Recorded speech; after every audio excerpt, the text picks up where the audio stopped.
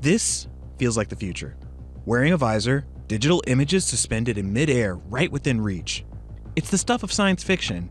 Movies like Iron Man and Minority Report show off floating visualizations in a realistic manner. But how close are we really? Enter Microsoft's HoloLens 2 headset. This isn't the first time around the block from Microsoft.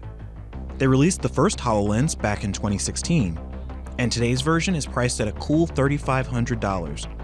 So, who's going to buy this thing? For folks like myself even, we're information workers, right? We sit behind a desk. We have the luxury of technology, desktops, laptops, always with us.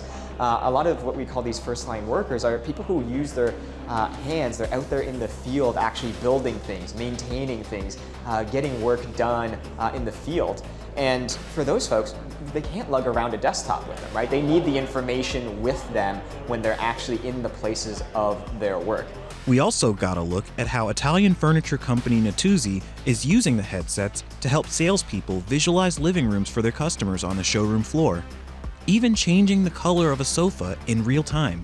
Then, Spatial let me go eyes on with their software that aims to make video conferences a thing of the past. Imagine if Zoom and Slack had a holographic baby.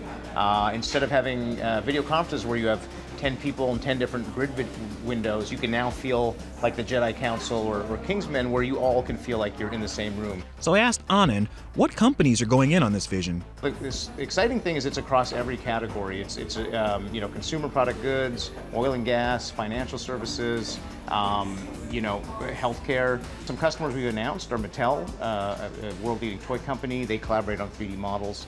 Um, Ford, you know, using spatial to look at um, uh, 3D car design and, and, and evaluate that.